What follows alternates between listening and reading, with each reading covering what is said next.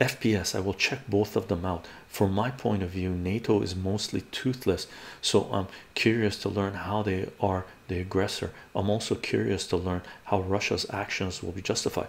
NATO, NATO now is regarded as being toothless, eh, other than they have nuclear weapons, but NATO is not toothless, right? NATO has resulted the aggression of NATO towards Russia has resulted in the annihilation of a country.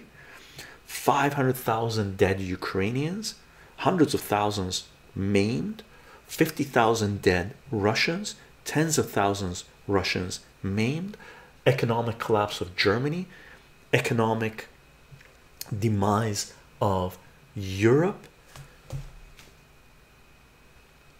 United States running deficits that are last budget the is 1.7 trillion dollars. Canada is economic fucking wasteland now. The homeless here are unbelievable how many homeless we have here. Meanwhile, Canada was sending six billion dollars to Ukraine. NATO is not toothless in regards of how much destruction it's unleashing across the globe, right? NATO is toothless in regards to what it was hyping itself to be the most powerful military in the world, right?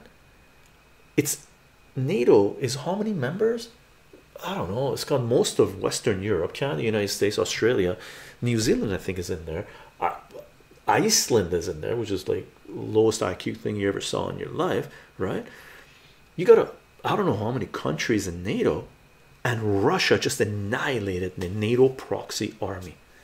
So, in that regards, yes, NATO is toothless, but NATO wasn't regarded to be toothless two years ago.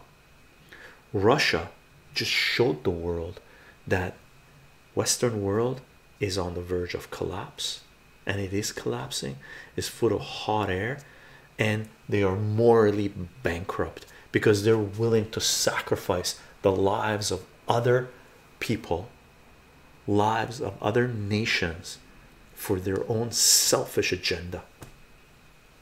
The veil has been lifted, and what we're seeing right now is the repercussions of what's happening, right? For example, let's do another update.